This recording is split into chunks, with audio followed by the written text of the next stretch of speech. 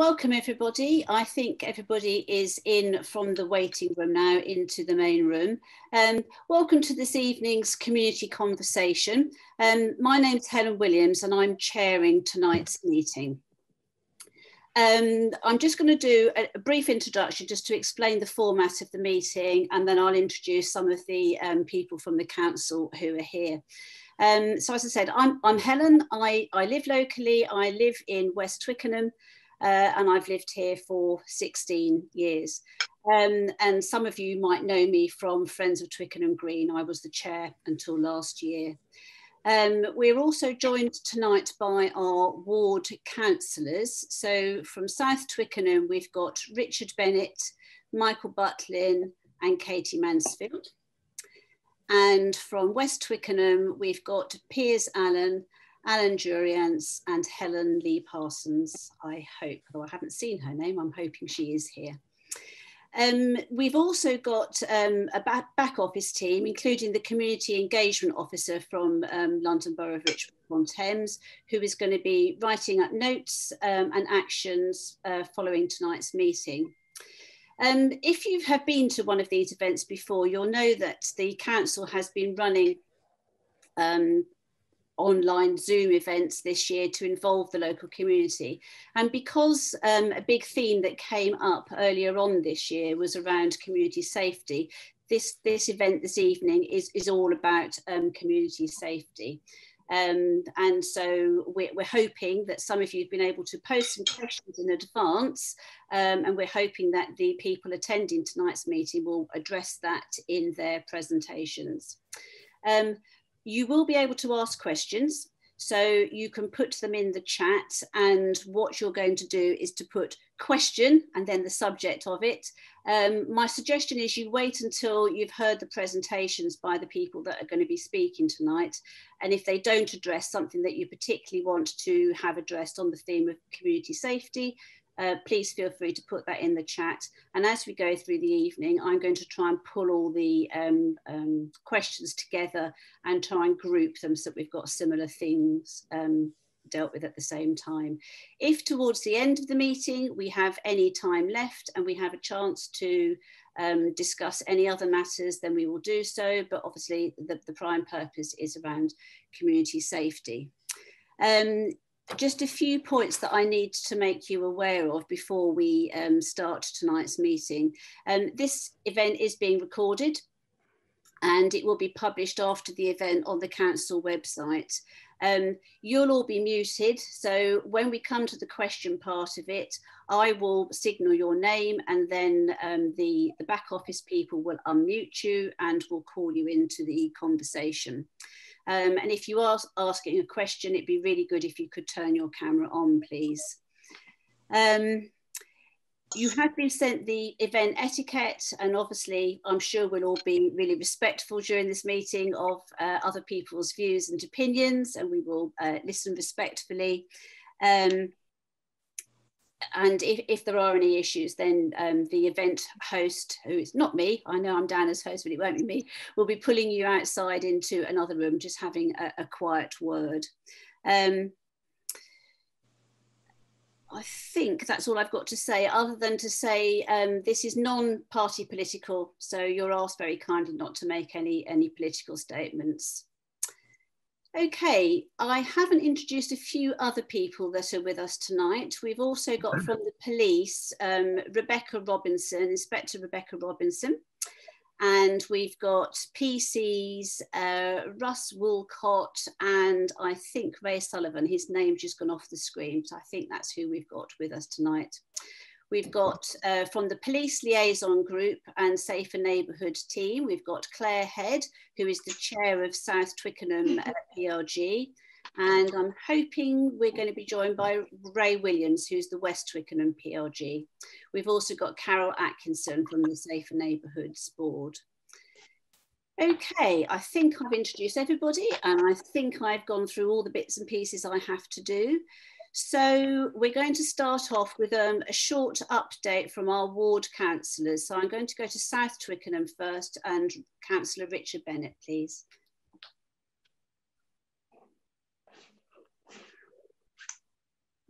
Good. I'm unmuted. Um, I, am going to try and set a, an admirable example to my fellow councillors by being quite quick. And I'm sure everyone will be quite pleased about that. Um, so I, I, know that in terms of community safety issues, people are, are, worried about alcohol and drinking, particularly on Twickenham Green in the summer. Um, drug dealing potentially in, as well, which is also taking place. They're interested in antisocial behaviour, interested in the police resources that we're receiving, uh, park guard, and probably things like CCTV. So I guess those are the things that are going to crop up today.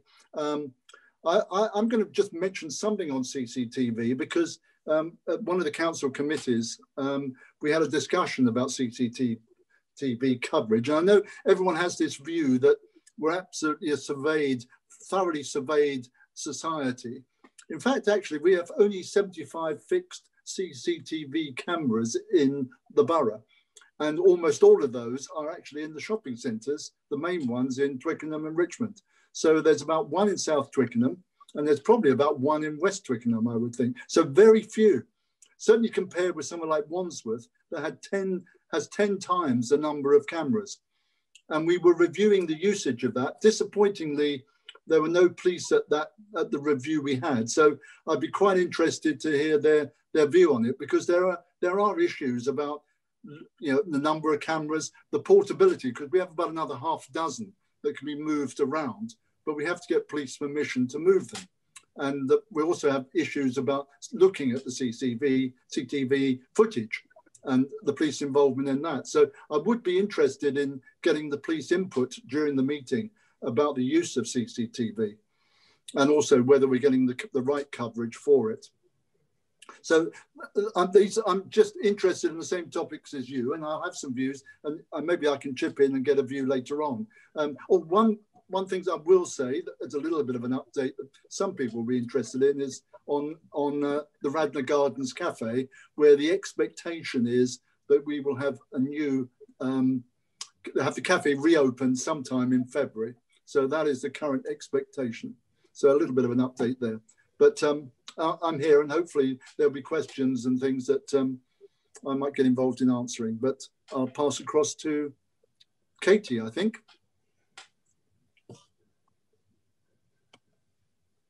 Thank you. Thanks, Richard. Um, and, and I think just to reiterate what Richard has, has already said, I think we appreciate the community safety concerns and we're really um, uh, looking forward to the debate this evening and hearing from the interested parties because we, we do get um, communication with regard to the antisocial um, behaviour on Twickenham Green and, and also in other parts and, and the police presence.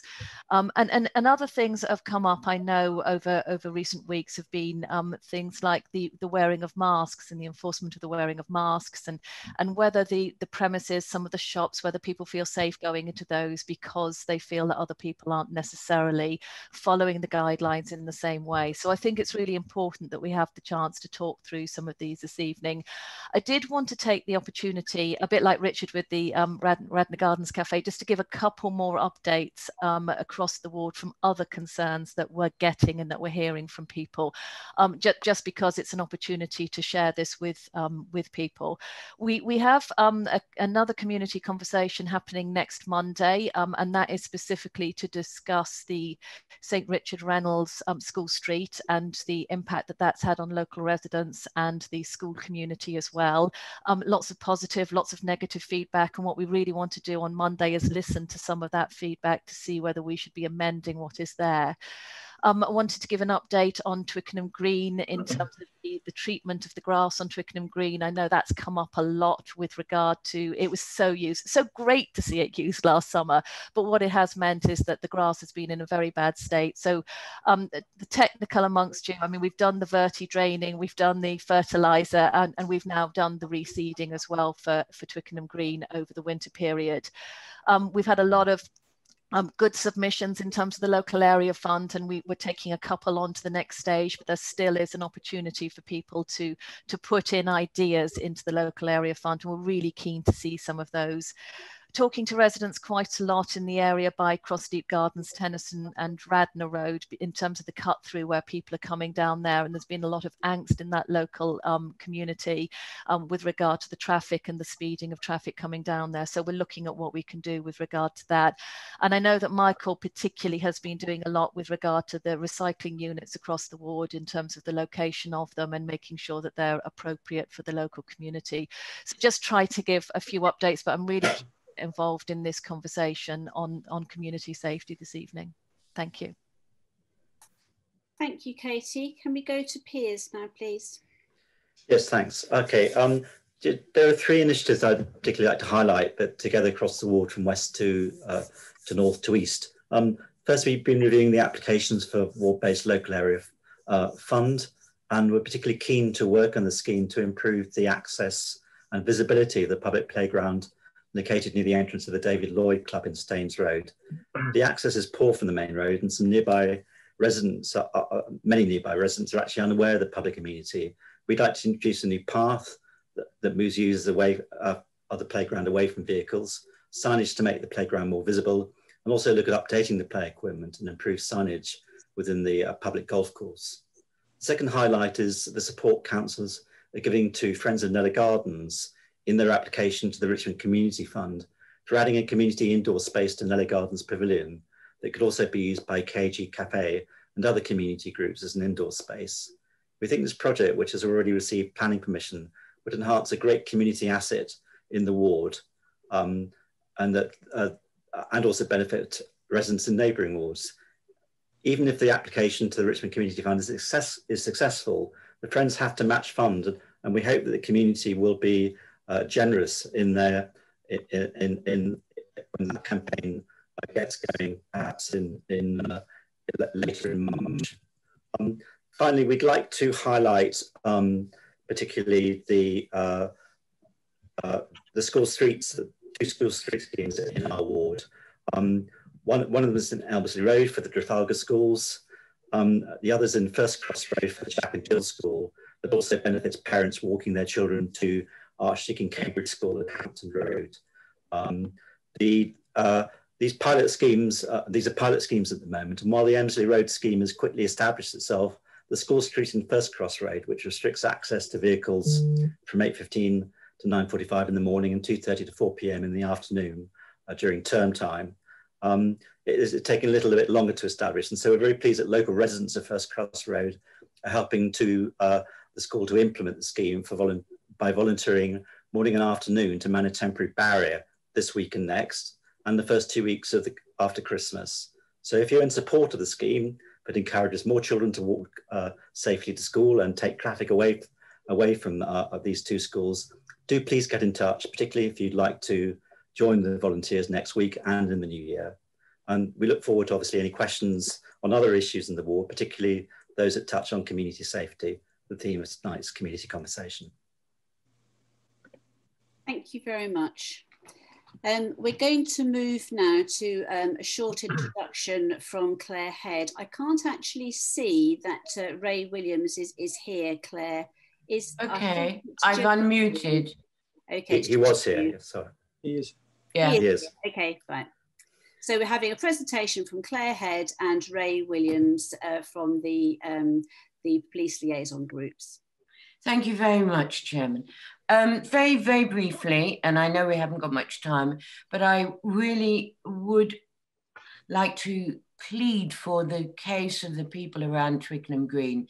Um, they're suffering, an awful lot of them, from people urinating, defecating in their on, on their property.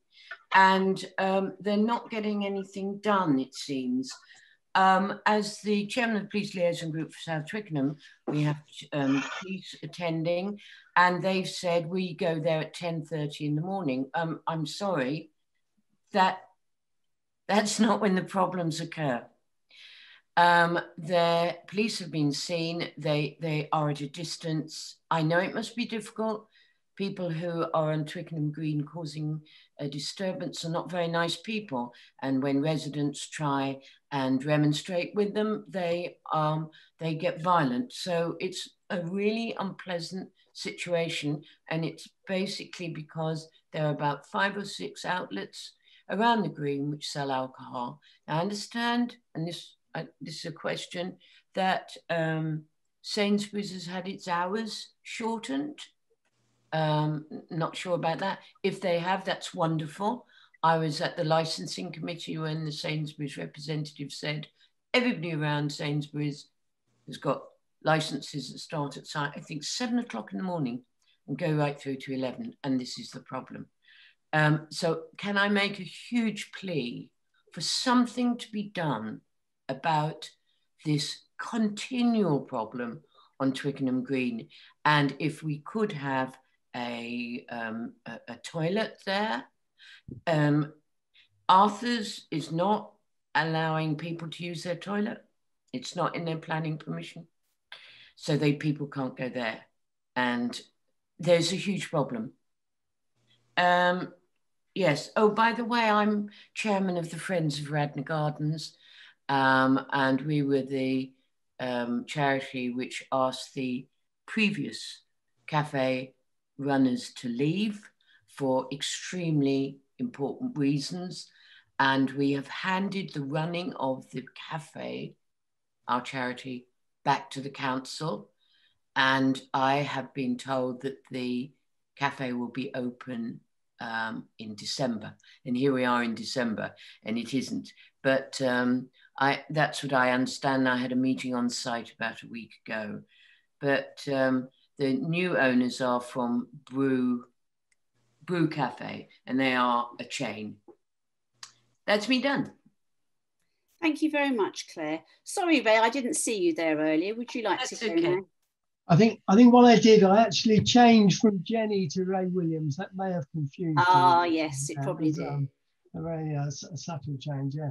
Well, I mean, I think I, my my thoughts were to start with to try and um, maybe just sell the idea of PLGs a little bit. I don't know. Some of the people who are here may not be uh, that aware what what PLG is, and I um, I thought I could take this opportunity to sort of drum up a bit more support, really. Um, uh, for those who don't know, you know, police liaison groups are are there really to um, give uh, the ordinary resident just uh, you, you, could be you know neighbourhood watch uh, coordinator, but simply uh, uh, just a simple resident, uh, to have access both to your local safer neighbourhood, the safer neighbourhood team, and also to your councillors, because at our police liaison group meetings, we um, we have both. We usually have at least one of our councillors, and very often three.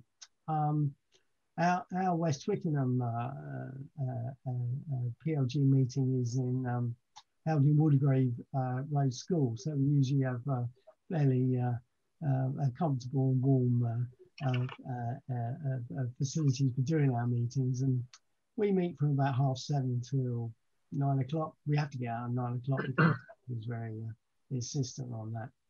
Um, we have at those meetings we can be told uh, about uh, latest crime statistics we get very good information from our own Safer Neighbourhood team and from the, uh, the Met themselves. They supply good statistics. So it's really a really good uh, venue for that. Um,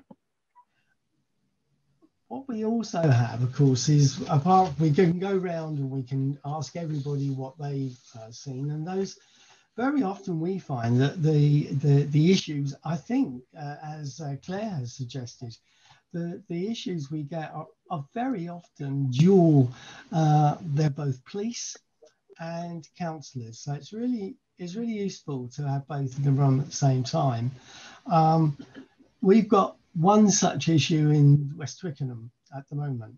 Um, we had a rather uh, uh, uh, alarming uh, and fairly unusual, probably completely unusual, I think, where we had an instance where a young schoolboy was um, held at knife point and uh, uh, uh, walked to a rather dimly lit alley and had his bike stolen. Now, obviously, this is a police matter, and the police are doing what they can. Obviously, these these these sorts of crimes are very difficult to track down the culprit, but also uh, this has caused the local residents to be um, really quite concerned about the, the the lighting in that alley. It's it's fairly long, it's fairly narrow, and I think it's got one light in the middle. Um, and they would they would feel more reassured if um, the lighting could be improved. Now that's obviously a, a local council issue. Uh, there are formal, of course, there are formal ways in which these issues are dealt with, um, but the sort of the PLG meeting where you would have both the police who could um, talk to this issue, you have councillors who could put the council's view on these. Things. Obviously, it comes with cost, um, and so this it's really um, I think I think it's a really useful forum, and um, I would uh, uh, uh, ask anyone who lives in West Twickenham um, who, who, feels they would like to take an interest, um, um, please contact me and, and see if they could join. Um, and I think the um, we've actually not had any meetings uh, since the lockdown. We managed to get one in in March, and we haven't any since. But we've been persuaded to uh, try this method, and we are going to meet tomorrow. and our first um, PLG meeting is going to be, in fact, uses MS uh, Teams because that's the only uh, sort of video platform that the police can use. So tomorrow we're we're going to try our meeting uh, an MS team. So that's West Twickenham for. Thank you very much. Uh, and I should say that following the meeting, um, attendees will be emailed a list of um, contacts. So you will be able to, to get in touch with um, the chairs of the PLGs or your local councillors if you wanted to follow anything up in particular.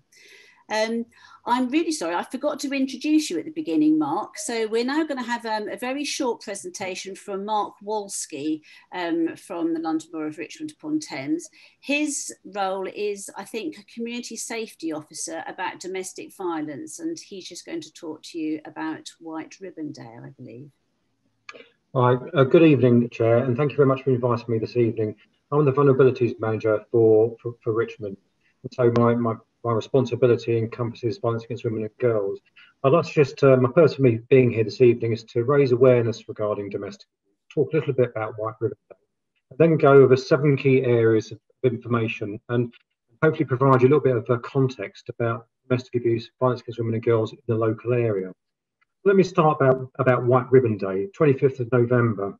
Uh, it's known as the International Day for the Eradication of Violence Against Women and Girls. It's an annual day uh, to raise awareness in respect of family violence.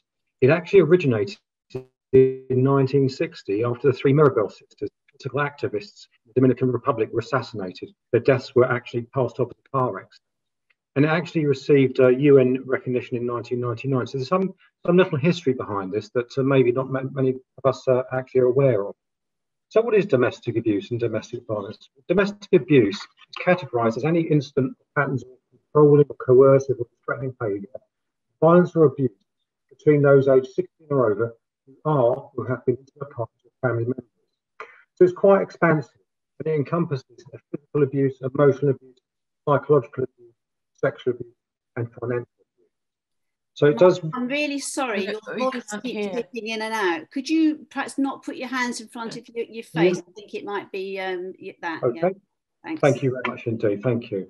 So if I can talk about maybe seven key facts in relation to uh, domestic abuse. We know that domestic abuse is 40% underreported in the United Kingdom. That which is reported is 1.2 million crimes a year. Risk 100,000 adults are at risk of serious harm or murder each year. And victims of domestic abuse often uh, live with the domestic abuse two to three years before actually seeking assistance. It's estimated that three women a week take their own lives as a result of domestic abuse. Children, around 18% of children in domestic abuse households are injured as a result. The cost of domestic abuse is astounding £34,000 a case. A homicide is estimated to cost 3.2 million. Now, for the local area, for Richmond, there are around 2,000 incidents a year, 1,200 crimes per, per year. And that is one of the biggest uh, areas of demand for police and the biggest areas of risk for the police to manage. For the financial year to date, uh, that's the coronavirus period, uh, domestic abuse has increased by 5.9%. And when one considers over the past five years, the numbers have been pretty static. It's quite, it's quite a hike. But beyond that, locally in West Twickenham, contributes 6% of um, all domestic abuse, and South Twickenham contributes 5.9%. Uh, and this is a quite a stark statistic as well. Locally, we have a conference, a, a monthly conference called the Multi-Agency Risk Assessment Conference.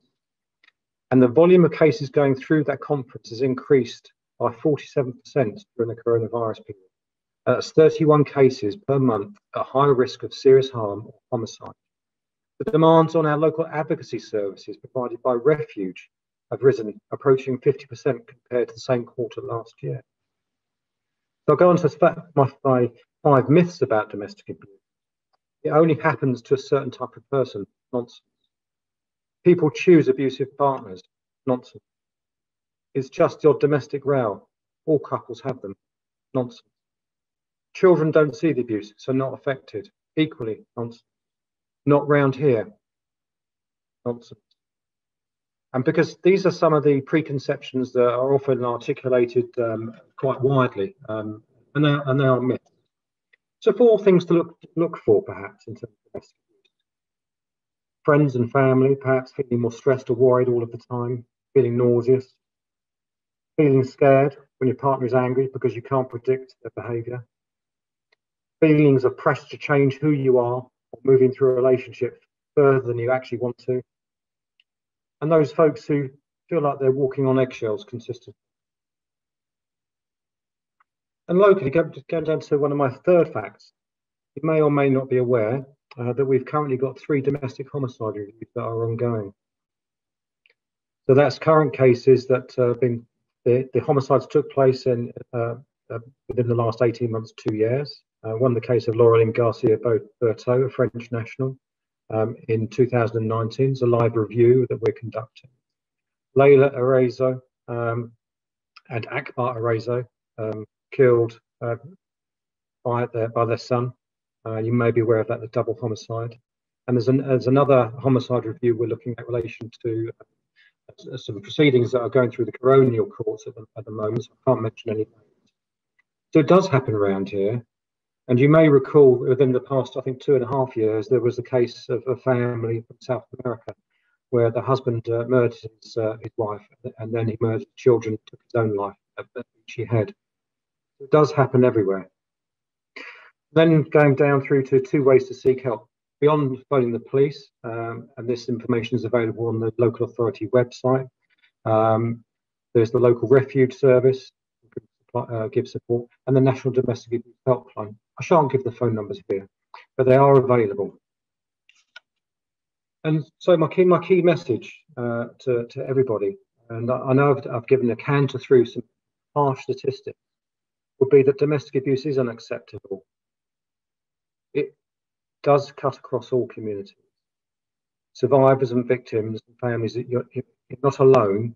Help is out there. Help is available via the police in case of emergency, there are a number of agencies that are able to help provide assistance, and advice is also available through the through the authority on our web pages. So, can I just say thank you for inviting me to talk about domestic abuse? It is, um, um, in many respects, a dark subject, and in my humble opinion, it's a subject that doesn't get enough airtime um, in the community safety agenda. It merits far more airtime. It merits far more scrutiny, interest, and intrusion um, from, from communities and from politicians and from senior leaders. Thank you very much. Thank you very much, Mark. That was that was very useful. Okay, I'm going to move on now to um, a short update from the local police about key issues in the um, local area. Um, I'm hoping that um, Inspector Robinson is going to be able to speak to this. Yeah, hello everybody. I'll keep it really, really brief because I want to give you as much chance as possible to ask your, your questions um, to myself and the council. Um, so my name is Rebecca Robinson. I'm the inspector in charge of the safe neighbourhood teams for the whole of Richmond. Um, so that's all 18 wards. Also on the call are the dedicated wards officers, uh, Ray Sullivan and Russ Wilcott for Twickenham. Um, so we're here to answer any questions that you may have. Um, in terms of crime, we've had a somewhat different year um, this year with, with COVID. We did see obviously crime go down a lot in the first lockdown. That then has risen uh, after that. It's a bit too soon really to see the impact of the last four weeks, uh, specifically on the crime figures. Um, but we did over the last four weeks uh, secure a bit of extra funding to have some extra officers out in Richmond, uh, where ASB warning, where warning notices were given and stop and searches and arrests um, have been done over the last four weeks.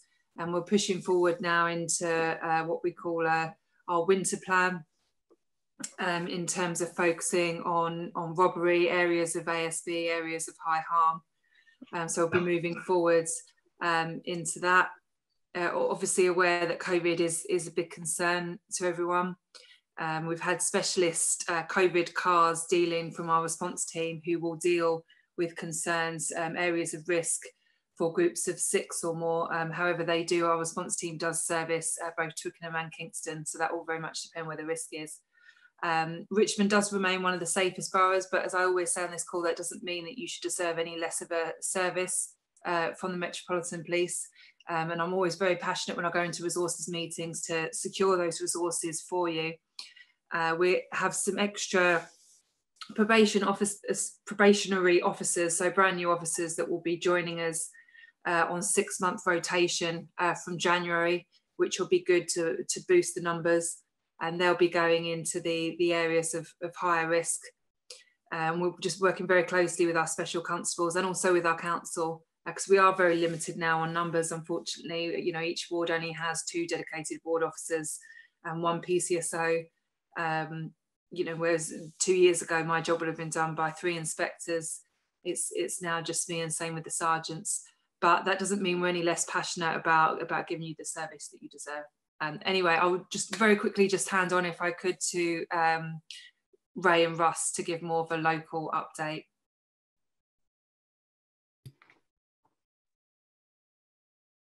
They were there. They were together. Yeah. Yeah. Ray and Russ. Okay. You. Uh, yeah, I'm from West Twickenham ward, uh, policing ward, um, and obviously our main focus, um, our main priorities are set by the police liaison group, uh, which uh, currently are theft from motor vehicle, um, antisocial behaviour in the Kneller Gardens area, and um, burglaries, including scams and bogus callers, stuff like that. That's our one of our main focus that the police liaison group want us to focus on. We also do a lot of work to get as a Twickenham cluster, uh, which involves uh, Ray's team on South Twickenham, Heathfield, and Hampton Hill. Um, also, we sort of work together to combat certain things. One of the things is uh, drug offences that we do a lot of work towards and um, antisocial behaviour across the across the whole cluster, um, doing stop and searches, being out in the community, foot patrol, stuff like that. Um, also, one of our main, uh, main jobs we do nowadays is to do uh, being a, a, platform on social media. Um, this includes uh, Twitter, uh, OWL, and Nextdoor. So we're trying to sort of communicate with our community as much as we can. So yeah, Hi, I'm Ray. Uh, I'm South Twickenham uh, police officer. Obviously, uh, if you've never met me before, hello. But uh, yeah, the main problems we have on South Twickenham is uh, theft from motor vehicle, which also includes catalytic converter theft, uh, theft of pedal cycles, which comes under the burglary banner because we have a lot of shed thefts, and also ASB on Twickenham Green.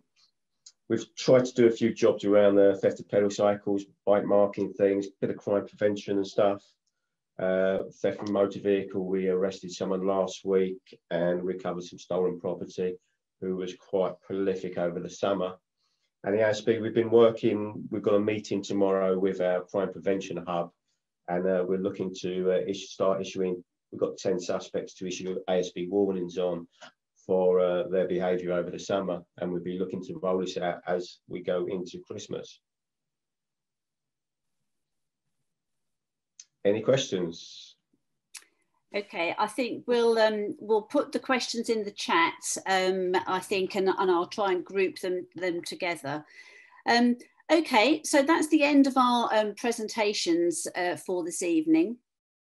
What I'm going to do now um, is um, we don't have many questions, so I'd like people to, to maybe indicate by putting in the chat if they have any questions, maybe for the police or for our local councillors, starting with the theme of community safety.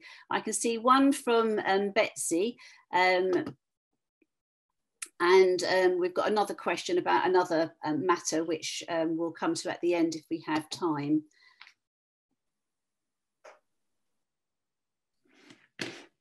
Okay, there's um, a question from Victoria about e-scooters. Can I go to Victoria Nurse next, please?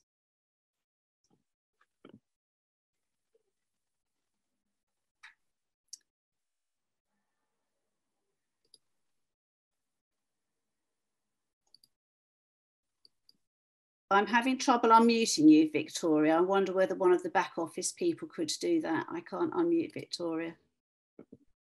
Sorry, Helen, I think it's there we go. Can you hear me okay? Yes, we can. Yeah, yeah thank you. Um, I had a question about e-scooters. Um, so recently, uh, TFL announced that they wanted to kind of uh, spread out. Um, I'm so sorry. uh, to spread out trial runs of rental e-scooters. Um, and I was wondering if uh, Richmond Council was thinking about doing that or if they are going to start doing that um, because I have obviously quite a few concerns um, already at the moment. Um, I've actually got clipped by an e-scooter user the other week. Um, and unfortunately their arm went and hit the, uh, I'm, I'm in a wheelchair and their arm went and hit the uh, joystick. Um, so obviously there's me riding off. Um, so I had some concerns about uh, the safety of um, residents, you know, pedestrians, regardless of disabled or not. So uh, pushchair, um, you know, buggy users, wheelchair users, walker users, and so on and so forth. Um, and also I've seen a few, and I don't know if they are from rental scheme or not, have been on pavements, like left on pavements, like strewn across. Um, so yeah, that was a few of concerns. So um, and my third concern is obviously seeing a lot of them using the cycle lanes. And we already um, have a huge concern, especially in this borough, due to the high numbers of cyclists that we have, um, about getting hit by vehicles. So I have a huge concern about e-scooter users also being hit by said vehicles as well, um, especially as they have absolutely no protection. A lot of them do not use helmets or anything um, to protect themselves with, like cyclists do. So that's a few of my concerns that just came up in my head. So I hope you can answer them for me. Lovely, thank you very much. Um, there's a, there's a couple of points there that I think we could have answered by different um, people. I wonder if I could go to in Inspector Robinson first. Would you like to comment on the, um, the, the, safety element from a police um, aspect, please? Yeah, of course. Um, and this is a concern that's that's um, been similar across many of these community conversations. So we, we are aware of your concerns. Uh, obviously, when the scheme first came out, you know, the position from uh, the Met as a whole is to support the government initiative. However, um, they are mechanically propelled vehicles, these e-scooters, and as such, they are subject to uh, different highway laws and uh, different legislation under road traffic, including cycling on pavement. Um, because they are relatively new. We're still sort of getting our, our understanding um, of that law coming coming down to the officers on the street. There are specific uh, operations around targeting e-scooters, uh, and our colleagues in Safer Transport are looking at them. Um, but yeah, it is, it is an offence for them to be cycling on the pavement, uh, and if officers uh, see it, they will obviously uh, deal with it. Okay, thank you very much. There was a second part of Victoria's question, which was um, around the, the, council and whether the council are preparing to, to license e-scooters. And I don't know if one of our councillors would indicate by waving at me whether they'd like to answer that question. Katie. Hi, um, um, I think that we have to get the balance right um, with how we go forward with e-scooters because there's a couple of different considerations. One is that we have to do everything we can to try and improve the environment and try to um, make sure that we're a borough that encourages active travel and that ensures that the opportunities are there for people to cycle, to walk and to get by through means that aren't only um, through, through um, cars at the moment. But I think you're right, absolutely right, Victoria. There is a complete balance that has to be made with the safety considerations. Um, and I think it's something that we have been discussing um, internally at Council. It's something that people have divergent views on. Um, and, and I think that certainly um, when we've been talking about it, the safety concerns have been absolutely paramount that if there is anything that would go forward um, with, with regard to, to us allowing a, a trial to take place, it would have to be with a lot of constraints of safety involved in it. Thank you. Victoria, did you want to ask a supplementary or do you feel that your um, questions have been answered? Um, I, I feel that my questions have been answered. Um, there was one thing that I was thinking of. Um, to this is kind of directed to the police officers on here. Is are there any thoughts in regards to um, well, particularly for our local area anyway, or for the borough, to encourage some form of um, advertisement um, in terms of encouraging e-scooter users to use a helmet or um, to be more aware um, in terms yeah. of their safety, something like that, just to just to kind yeah. of put into mind that to encourage um, at least helmet using um, would be maybe a good idea. So I was just wondering if uh, the police officers maybe um, wanting to take something like that on board um, yeah, just no, to change you. the avenue. Yeah, no, thank you. That's um, that's a really good idea actually, and something I'm not previously thought of. Um, perhaps I can take that offline with uh, my colleagues in the council to and community safety unit in the council to see what we can do jointly around that. Because yeah, you're completely right. It is a concern. Okay, thank you very much. I'm going to to go back to something that that oh Ray, did you want to come in there? Ray Williams? Yeah, I, I think I've I've actually seen um, uh, I think we were sent through this OWL system, weren't we? Um, uh, uh, a, a letter that the Met uh, sent to retailers of e-scooters, and that seems to be saying that reminding them that uh, uh, the use of an electric scooter on the road is illegal um, at the moment, and that uh, I think that's why they have they prefer rental systems, isn't it? Because they can be registered and logged. So I think the Met is sending a, a letter to all retailers of these, reminding them when people buy it, they should be told you're not allowed to use it on the road and you're not allowed to use it on the pavement. So at the moment, you can only really use it in a private property, I think. I think that's correct. Um, Rebecca, could you add to that? have the Met issued um, letters to, to retailers to make sure that they're being marketed responsibly? Do you know? Um, I I don't know. I'd have to come back come back on that one. I can certainly find out though. Okay, I'm going to take. I can see there's a couple of hands up. Michael, did you want to come in here, Michael Butlin, about um, e-scooters? Yes. Um, first and foremost, e-scooters that you've seen around the borough are actually illegal. The reason being is that these vehicles do not have any rules and regulations on their use on public highways, and that is quite clear. Uh, and some uh, police uh, groups have actually taken them off the group, taken the, the e-scooters away. The thing that you hear about at the moment is the uh, Transport for London are putting forward some tests which are very firmly controlled. The individuals who will be using the test sites will effectively A, have to have a driving license to start with, B, um, they are um, told that the vehicles themselves, the, the e-scooters themselves, will actually be monitored uh, in terms of speeds, so that depending where you are, um, the, the, speed will actually reduce, if, if not um, come to us. If you try and go off off scoot, uh, it, it completely bounded off. So this Transport for London test is very controlled, environment. It's nothing to do with all those e-scooters you see around. It's possibly the uh, the government's basically trying to tip the toe in the because because they are so prevalent, and they do need to have an answer. And it's not the um, problems about the uh, helmets you should think about. Um, if they're nipping along at 30 miles an hour, uh, as somebody who came off his bicycle at five miles an hour and broke a leg, um, I can assure you that an e-scooter person, well, they've got nothing. You know, they've got nothing to stop, hang on to, to stop themselves really going over the handlebars. Even if you look at some of the paving stones, a little bump, a little curve, and they can come off. So they're actually endangering themselves and obviously endangering us as well, us pedestrians. And um, so, if anything you see on the road at the moment, they are completely illegal. There will be a test possibly um, coming forth, but that will be in a very controlled manner. And uh, we, it, should we adopt that procedure, we can also jump out of it uh, if we see it's getting out of control. Okay, thank you.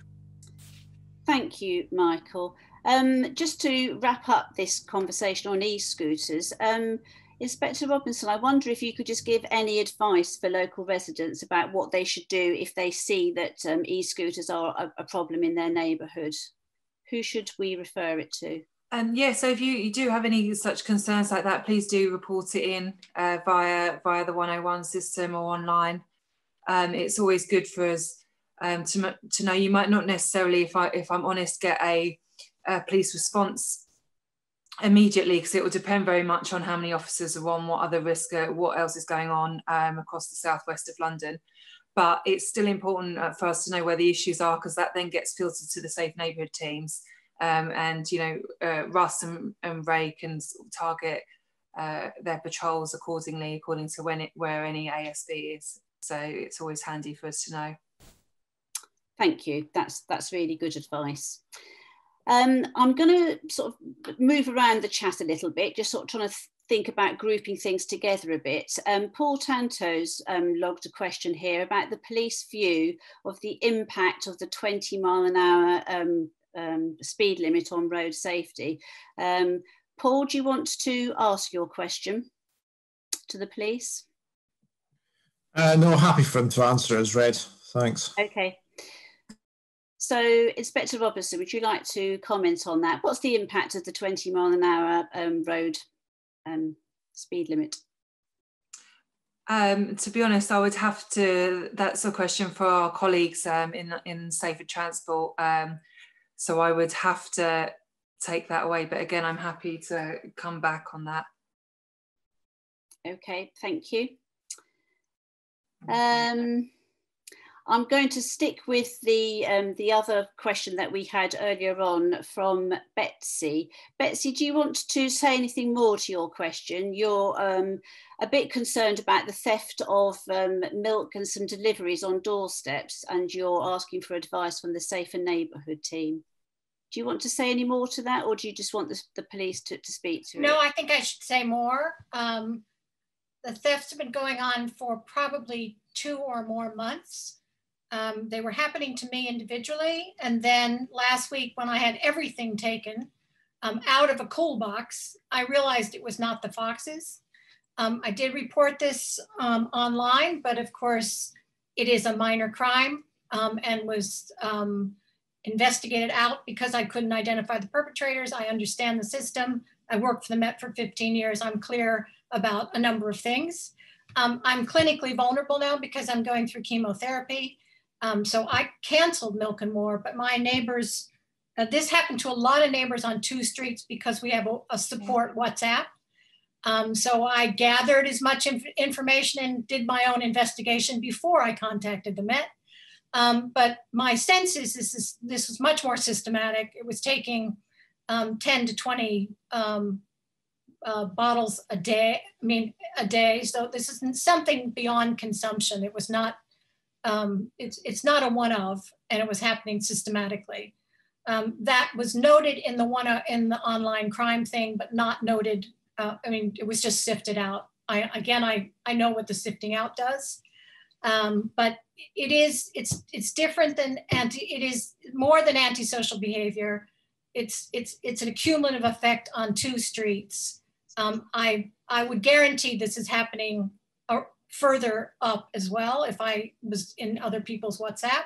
So it's it is more than just my theft. It is it's happening on two streets. It's happening systematically over months, and um, I I give the advice I can because I again I worked in the Met for 15 years, um, but I think you just need to note that actually it has had an impact in this area.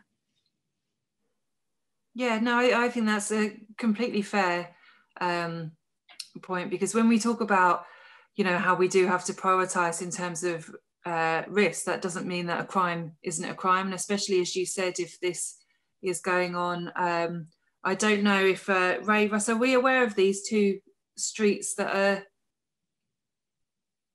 suffering? If not, maybe because sometimes what happens is the crime as you said, as you well know, gets sort of filtered out almost before it gets to the safe neighbourhood teams. So that's why it's really important to feed food to the neighbourhood teams um, where these are, where issues like this that are having uh, impact on especially a couple of streets it's it's worth us knowing about so if we could maybe have the name of the streets yep i've given you the names of the street. i'm happy to be um, talbot road and marsh farm roads um, you can come and talk to me as well. I'm happy to do that and give you the background. Um, can you hear me? Yep, we can hear you, yeah. Yeah, I picked up this report last week. I did view it. Uh, it come through the electronic reporting thing. Uh, what I would need to have a look at is if there is any patterns, because it was only one report from you. So uh, though it's not something that would come be screened out to me, it's something I would look at so I am aware of it. I, by all means, I'll come and speak to you and find out whether I can work out some sort of pattern of when. Yeah, it was Wednesdays. I can give you the exact days. I can give you the exact times of the deliveries. I've I've done my milk and more investigation, um, so I've I have done that. Um, and and if and if we need to get addresses of verifying other like my neighbors, we can probably do that as well. Yeah, that's fine. If I can work out a pattern, then I can work out I can work the pattern. I've worked the pattern, so I can give you the work out of the pattern. Okay, because in your crime report, it didn't have the pattern on there. It just. I I knew there was only so much they would deal mm. with, so I, because it was only mine. I tried to get other people to report, but if it's two two two things of a of a, you know, if it's if it's two bottles of milk every week, they weren't. They were just getting their money back from the company. Mm. That's what happened. Um, Thank you. And, okay. So can I suggest maybe that um, if you you can follow that up, police, with um, with Betsy directly, that'd be really um, helpful. Thank you. Yeah. Great. Thank you. Okay. Um, I've got I haven't got many other questions here. Are these particular questions that people want to ask? Just put the word question and then, then put in the, the topic that you want to, uh, to, to ask about. Um, Bartley, this isn't a question, but you'd like to, um, to talk about what you did on Twickenham Green with the police on Friday night. Yes, okay, I'm just trying to unmute myself. Oh, can you turn this down? Yeah, you're a bit echoey, but you are unmuted. All right, one second. Let me fix that.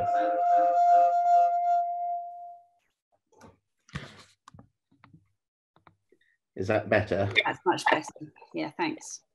Okay. Yes, um, it's just by chance. Um, I actually spent quite a bit of time with the police in a patrol car on Friday evening, and um, we travelled around Twickenham, Strawberry Hill, Teddington, and the general area. And at one point, we were passing uh, Twickenham Green, and there were quite a lot of, as usual, pretty much every weekend, sort of um, groups of people, mainly sort of young people on the green, sort of groups of between 8 and 12, 13 people in each group. Anyway, the we, the patrol car had pulled up just next to the recycling on the corner next to First Cross Road, and one of the PCs went across to the pavilion briefly and came back. He then radioed in and said um, he suggested that some units attended the green because he'd seen significant evidence of drug usage taking, ASB taking place at that time. And um, he suggested that some units attend and perhaps uh, he also suggested um, you know, maybe some stop and search would be useful. And um, you know, this is something we witness all the time, but uh, I don't know, people seem to sort of downplay it, but this was actually radioed across to the police there. During the evening, we also stopped off at um, Radnor Gardens and, and, the police entered next to the uh, the gazebo, the entrance sort of in the middle from the road there. There were two large groups of youths there, all with bicycles. As soon as the police entered, they scarpered, for better word, um, before they could be approached. Again, two separate large groups. They all disappeared out the um, entrance exit down near um, the cafe. And we had the same experience when we went to Kneller Gardens and, um, sorry, not the uh, Crane Park, God. And uh, there were again groups down by the uh, the water, um, the river there, and they sort of disappeared quickly. I mean, the, the thing is, there were large groups. They disappeared as soon as they saw the police. And say in the instance of Twickenham Green, I mean, the police went sort of witnessed directly sort of drug usage, taking whatever was going on. I mean, it was interesting to me um, earlier on, Claire had mentioned how, you know, patrols were down at 10.30 in the morning. Well, obviously, that doesn't really mean anything. There's nothing visible. There was a tweet the other day about antisocial behavior on the green. And then there was a response from, I think it was Shra saying, well, at 9 a.m. at the pavilion, it was all clear. But that's the point it may all be clear the next day, but this is happening and it is happening very regularly. And you know, we see it all the time. I mean, you almost feel like it's the sort of Cassandra syndrome where you say this, but it's just discounted all the time. But I just wanted to say this because uh, I was with the police and they did, you know, um, reported on on the radio asking, and I expect, I mean, there probably wasn't any attendance by units because, of course, the police are very pressed and probably didn't have the availability to send anyone down there. But this is a weekly, weekend thing that happens all the time. And just because we've passed the summer period where the ASB and defecation urination was appalling, it hasn't stopped. It, it may be less obvious.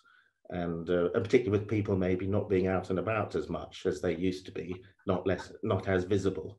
So I just wanted to make that as an observation and sort of you know, it's not just us as a resident sort of going, oh gosh, this is happening. You know, the, the police reported on the radio as it happened. Mm. Thank you. That's um, that's really helpful to hear. And actually, uh, I'm going to invite um, Inspector Robinson to respond to that in a, in a minute if she can. But I've also logged a 101 fairly recently reporting a very large group of teenagers on the corner of Twickenham Green. Um, so it does seem to me that there are still large groups of, of people who do, do scarper the moment anybody um, appears. So Rebecca, could you respond to some of the points that Barclay raised there, please? Yeah, of course. No, um, thank you. And I, I, definitely don't want people to think just because the summer periods are over that we've forgotten um, about the issues, um, the areas that do have those ASB issues. Um, so I did over the summer get the authority for all of the safe neighbourhood teams um, to be able to issue urination tickets. Uh, I know um, Ray PC Sullivan that's on this call has did issue a couple of them. Unfortunately, we do have to catch people in the act for that. Um, we do so as I said before, the, the safer neighbourhood teams themselves only have um, two constables on, um, and they work different uh, shifts. They will amend those shifts according to to where the need is, but unfortunately, there is only two of them. And if we have, like we did over the the summer and over the last couple of weeks, areas of uh, pop-up events of uh, raves elsewhere in London. Unfortunately, those officers are taken off, which is extremely frustrating for myself and for the teams um, as much as you, because we want to be in, in Richmond delivering the service to Richmond. Um, so if you do sometimes feel like you know you don't get the that visibility, that probably goes some way to explaining why. But again, I would always encourage you to always report this this stuff into us, even if it feels like, you know, I, I, I know 101 can be a, a frustrating system. Um, I don't know if I should say that or not, but I know, like, I, I've heard the stories of people calling in and I know it's frustrating, but it really does help us map, you know, especially coming up to winter where we're going to put those patrols um, and as well areas where with the council we can try and get design out teams to, you know, work out where to put CCTV um, so it's always helpful for us to hear these hear these areas. Um, yeah.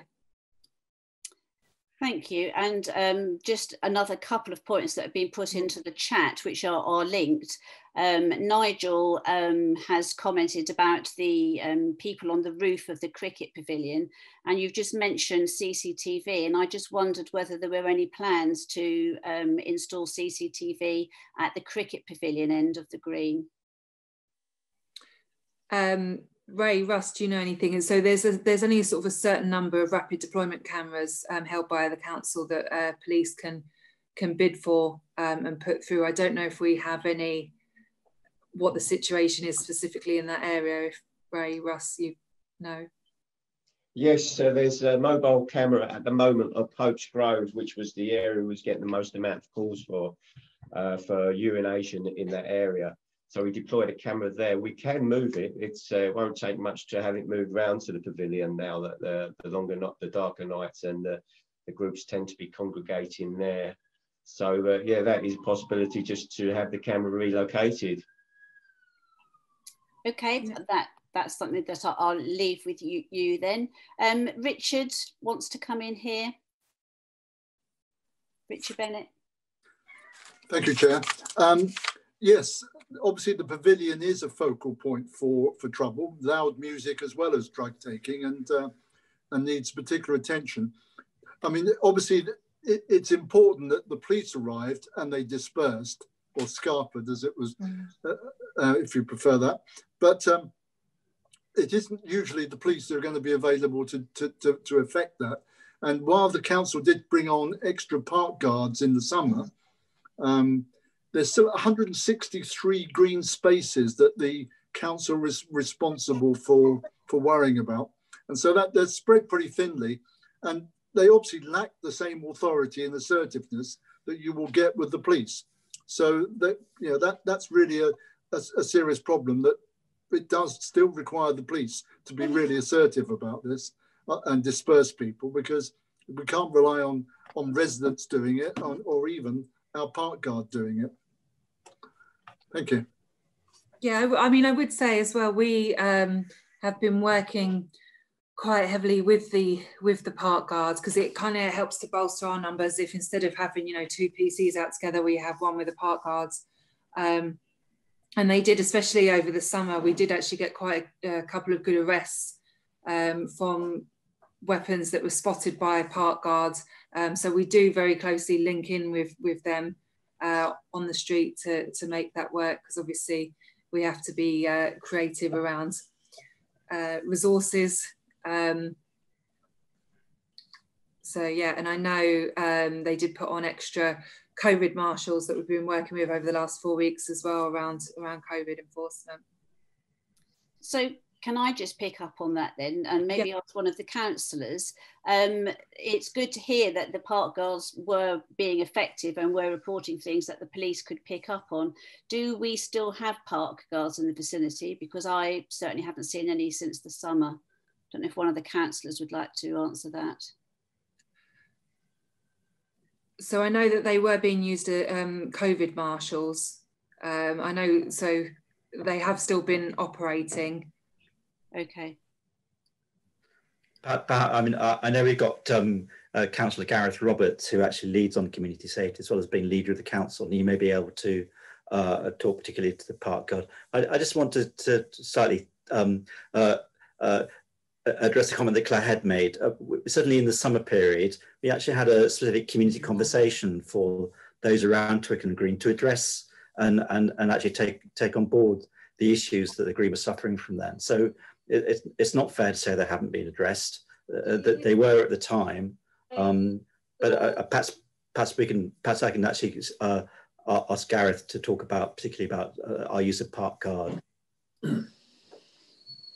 Hello, good evening, everybody. I wasn't expecting to speak this evening. I was just coming along to keep an eye on things. Uh, but yes, we did have an additional enhanced park guard service um, in addition to the uh, park guards that we have patrolling all the way through the year. So yes, park guard is still on. I don't believe we have the enhanced service at the moment, simply because we don't have an endless supply of money, and it was costing quite a lot of money to be able to provide these additional patrols on the hotspots when they were needed. That's what's really needed is a targeted response to deal with specific issues. If we find, which I don't think we will, but if we do find that we have this issue arising again, then yes, of course, we'd look to see what additional resource that we can put in.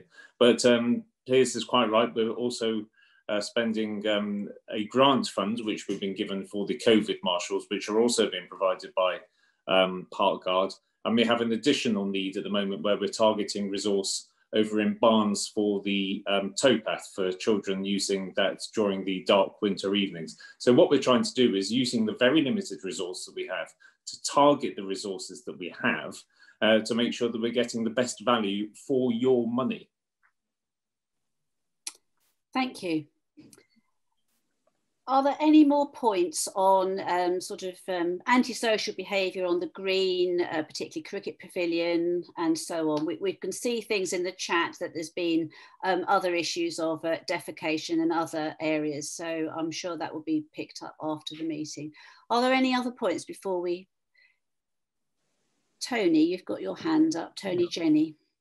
Yeah, I, I, would just like to um, say that I walk around Kneller Gardens regularly and um, I'd would I'd like to put in a good point for um, young kids actually, because I think um, they uh, they do leave a few beer cans around, um, which are often not picked up by, you know, but most of the time they're yeah they're playing a bit of music and most of the time they're just having a good time. And i don't blame them for that actually um, there's you know there's so many restrictions on us adults and kids these days. I don't want to diminish, you know, defecating and all that. That's awful, you know, and it needs to be addressed. But, um, uh, but I I do want to slightly balance it because I, you know, um, I you know my heart goes out to some of the kids in in in the park sometimes you know they you know they need they need to have an opportunity to um, be free a bit you know. And often it is at night when they can feel a bit free to be honest. Um, what i would say uh, slightly uh, on the agenda is that the Kneller Garden toilets uh, were out of action for weeks and in my view, that is completely unacceptable. If the toilets go down, then they need to be repaired within hours, not weeks. And I would like the, the councillors to respond to that and confirm that this will not happen in the future. When toilets are down, they will be repaired immediately because you know if you if you want to complain about people urinating then for god's sake let's have some toilets. Would one of the councillors in west ward like to pick that issue up? Yeah um yeah i mean uh, there have been periods when the toilets been done. That's because i'm i'm afraid they've been badly vandalized and weren't safe to reopen until until they could be put back into use. Obviously particularly uh, during the COVID period is absolutely vital. Obviously, our public toilets are, are, are in use where they, where they can be, but where they have been heavily vandalized, they have to be closed off until they can be safely repaired. And obviously that's done uh, with our, with our uh, contractors. We, we make sure it's done as quickly as possible. Um, but, the, you know, sometimes uh, uh, unfortunately, the, the, damage and vandalism they receive and so on means they just can't be, can't, it's not a cosmetic uh, thing to actually get them back into operation again. But of course, you know, uh, our, our, our, park officers and councillors are really keen that they're put back into use. That's, it's a community community asset. So there's no way in which we want them not to be used where they can be used. And so, where is there a, um, a hotline, or where can people report to issues about vandalised toilets, Piers? Well, I mean, they, I mean, certainly when they when the cafe is open, they can report them to them, or they can actually report directly to the council uh, online and they will get they will get a response. And and I know Mr. Jenny did at the time. Uh, I can't say no, every no, instance. No, no, no. Can I come you, in you, there? You did, I Tony. didn't You get a did. response. I did, You, there, you did. It was three weeks later the toilets were repaired. And that, in my view, they were not so significantly vandalized, in my view. Well, in, in the, your the opinion, response was not prompt enough. And I'm afraid that to have, when I ask for a commitment that toilets will be repaired promptly, and I get a response which uh, which makes, in my view, I'm sorry to, but in my view, these are excuses. This is like British Rail saying, you know, wet leaves on the lines cause train delays. It's the responsibility of the council to make sure the toilets are repaired promptly. Full stop. Thank you very much. No excuses, please. Thank you. And I'm pleased that you stuck up for the young people having a good time. So it's nice to have um, a positive there. I'm aware of the time and it's getting on for quarter to eight, and there's a couple more issues here. Um, I've got um, Chris. I'm sorry, I don't know your surname, Chris, but you've mentioned stolen bikes.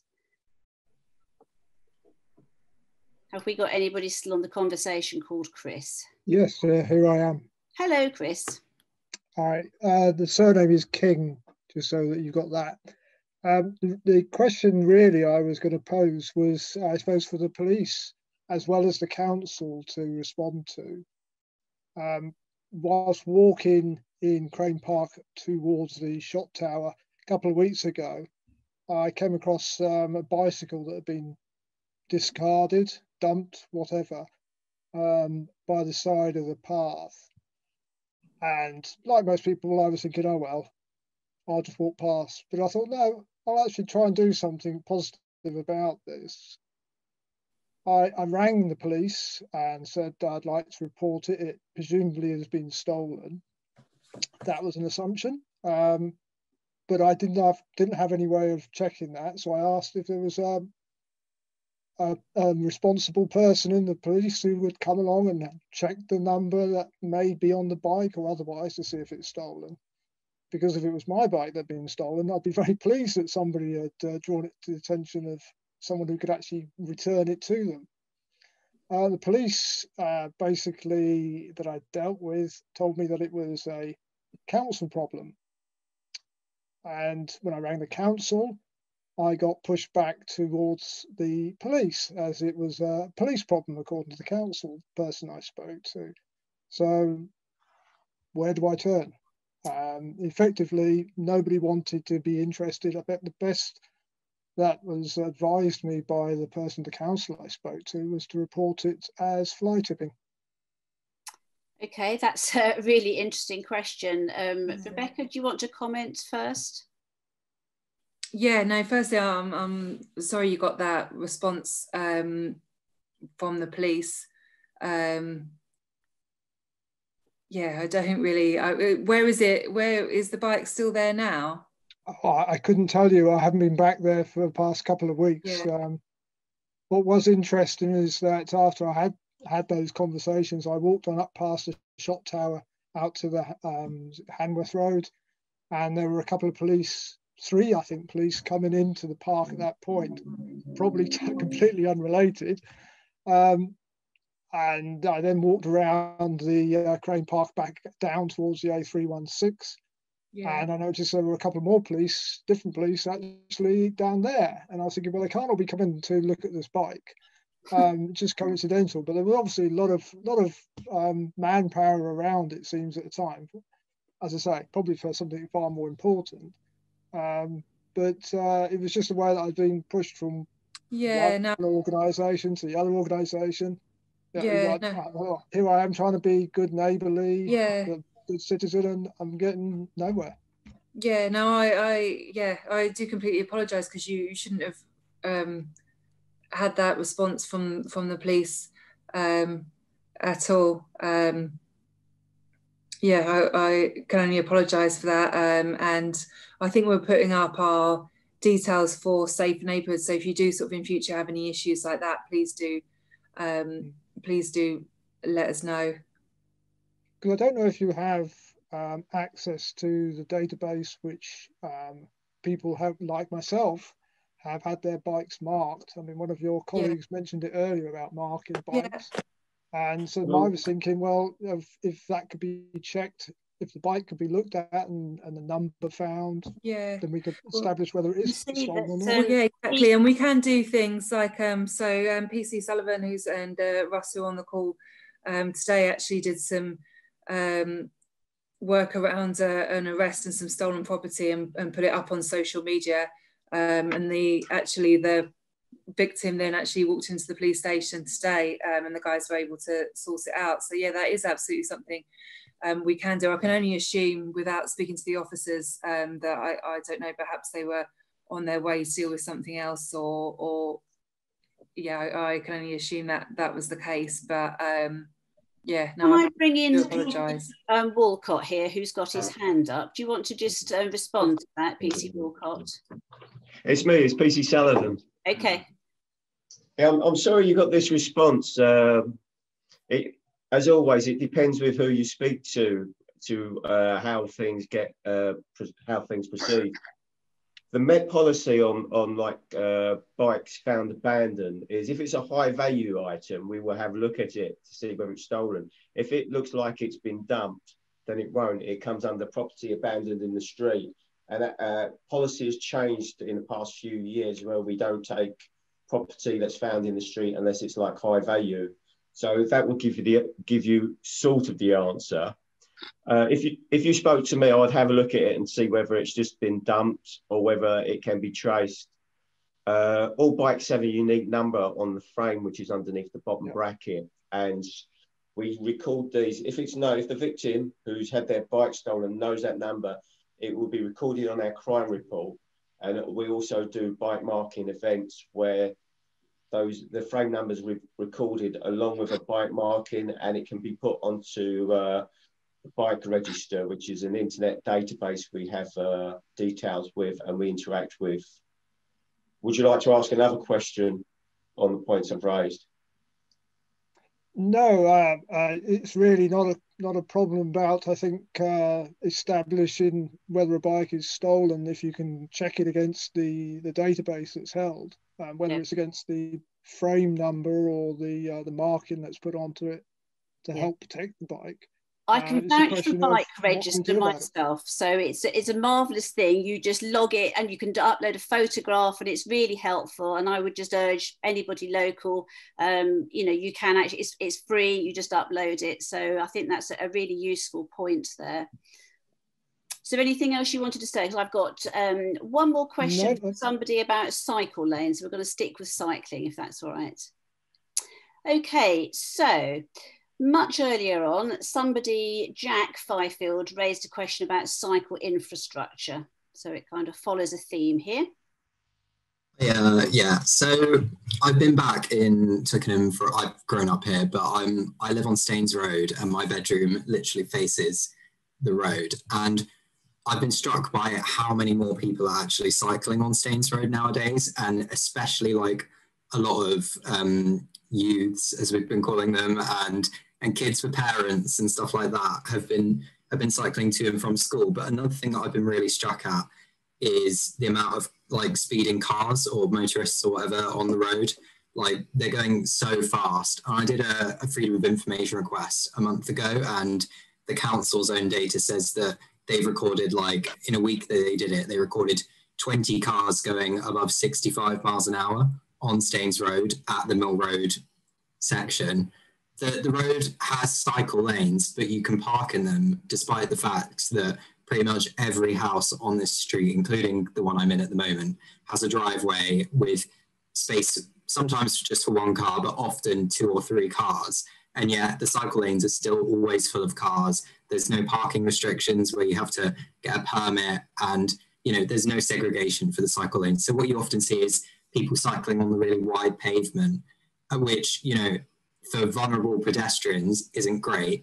But then at the same time, if you then stop them from cycling on the pavement, they're going to be cycling on this like road with people going at 65 miles an hour. So I was just wondering if if the council had any, any updates on um, whether there could be a segregated lane um, put on Staines Road to keep people safe. Okay, I can see Katie's got her hand up. Katie Mansfield.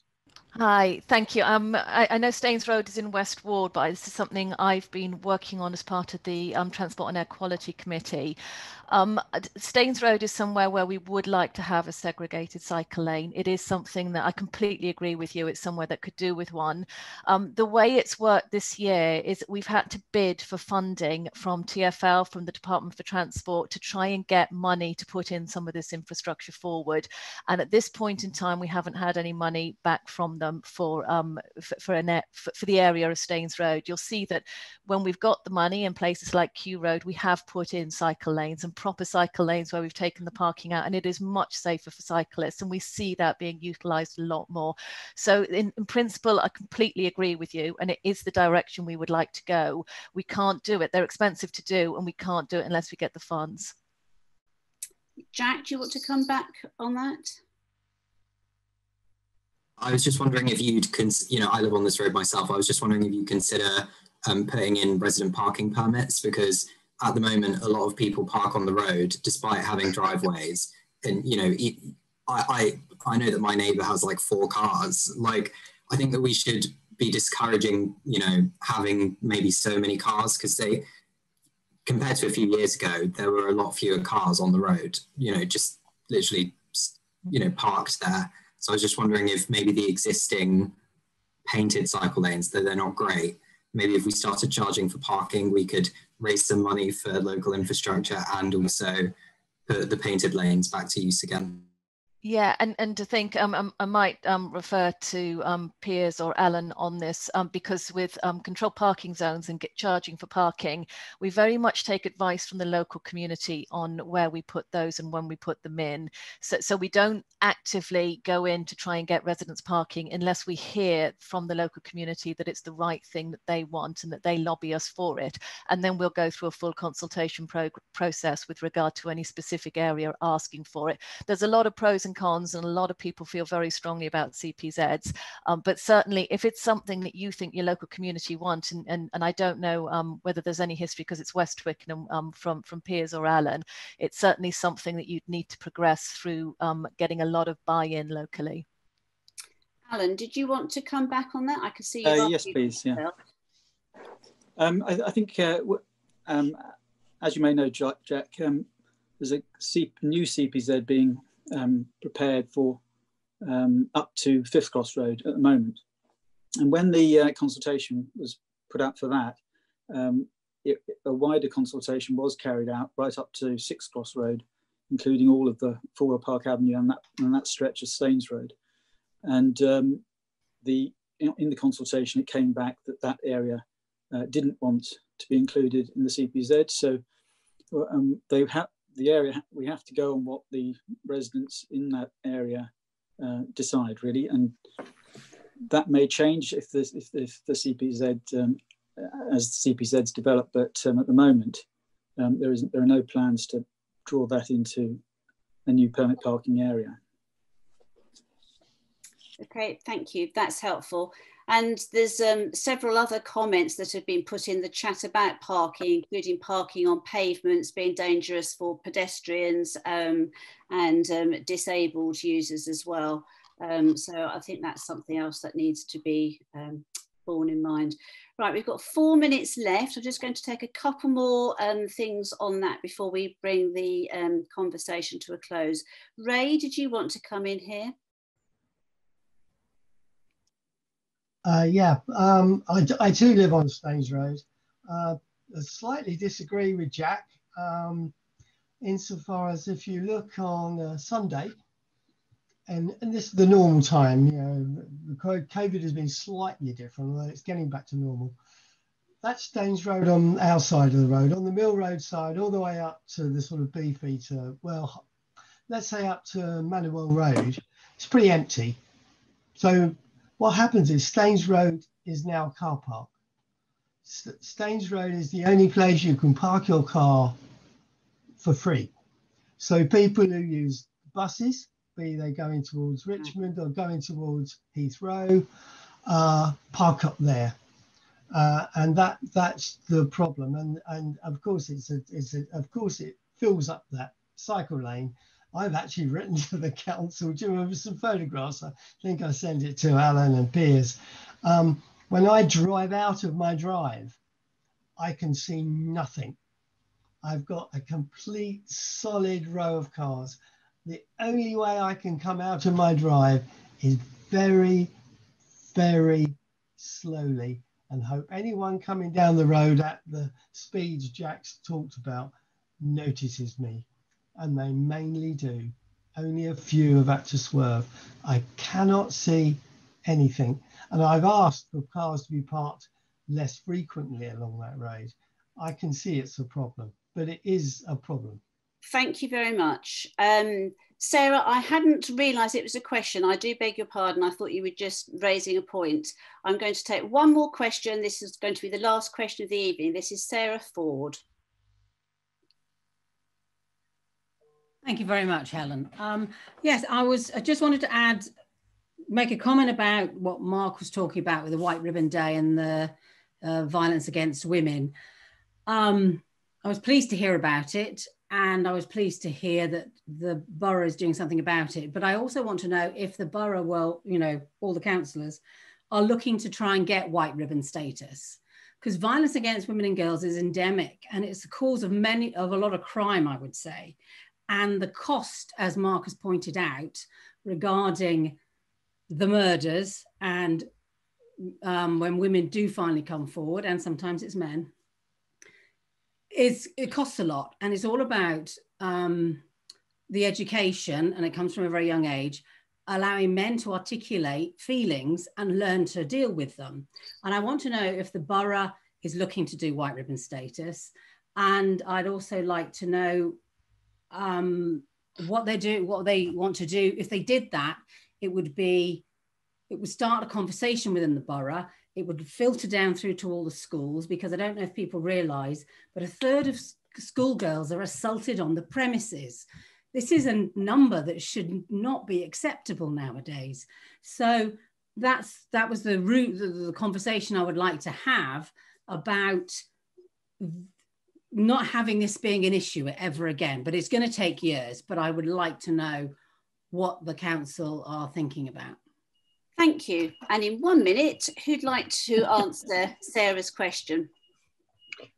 If, if you like, um, I'm grateful for the question. Mark speaking. So, in relation to the particular status you're looking at, yes, we've recently formed a new Violence Against Women and Girls Strategic Board. We're looking at leading light status for new commissioned services, and we'll be looking at accreditation across a, a range of um, activities. You're, absolutely right. Domestic abuse and these behaviours do actually happen at a very early age. So we need to uh, invest our time and our effort in a coordinated community response. So that is a very long-term vision, looking for generational change, not change in the next one year, two year, three years, but five years, 10 years, and 15 years. So our vision that we're working towards is to work up our activity that will deliver that change.